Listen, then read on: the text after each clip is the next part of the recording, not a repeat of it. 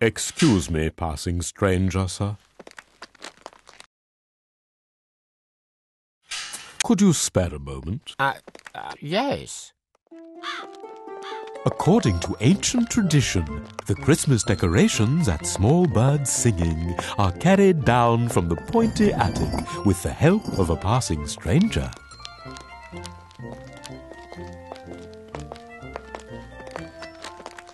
Lucky I happened to be passing.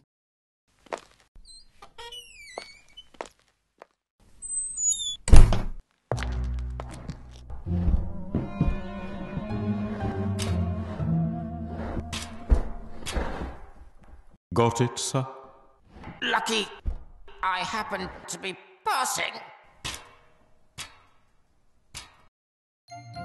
Next day it is written that the stranger must fetch and decorate three trees, one for the comfy sitting room,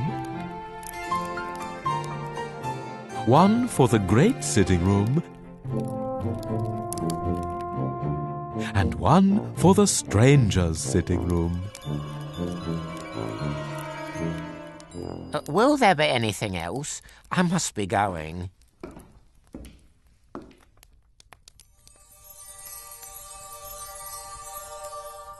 Perhaps another bauble, sir.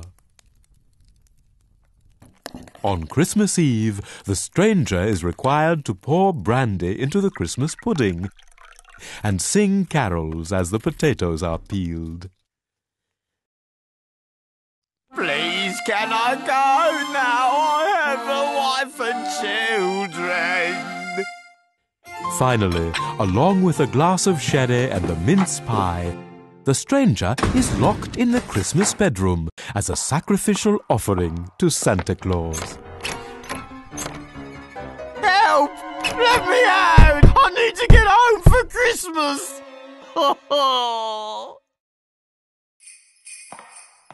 ho ho! Ho ho ho!